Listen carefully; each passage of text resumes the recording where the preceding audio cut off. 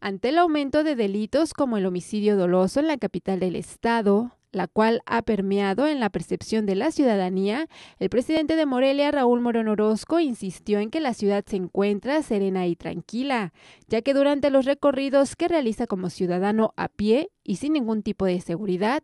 ha observado que los ciudadanos llevan a cabo sus rutinas en condiciones de calma. Como ejemplo, dijo las actividades navideñas que se realizaron el fin de semana en el primer cuadro de la ciudad, donde los ciudadanos pudieron disfrutar en familia del encendido de catedral y la inauguración del nacimiento. Es la visión de algunos y yo le respeto mucho, pero en general yo estuve aquí el fin de semana caminando en el marco de la encendida del árbol de la Navidad, el coro de las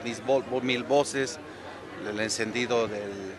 nacimiento monumental y yo veo a la gente muy tranquila, muy serena, no veo eso que tú me comentas, a lo mejor ustedes tienen una mejor visión ahí en tu, en tu medio de comunicación, pero en general este, hay tranquilidad con la gente y estamos trabajando nosotros para que este asunto de la inseguridad y estos picos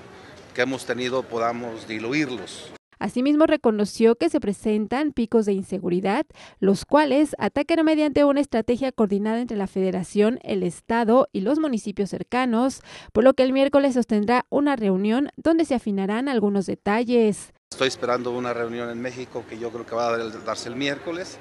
para seguir trabajando en el mismo tema. El fin de semana platicamos con representantes de alcaldes,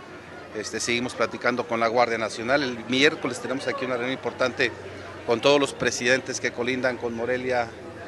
y, aunque no colinden para ver el tema también de seguridad. O sea,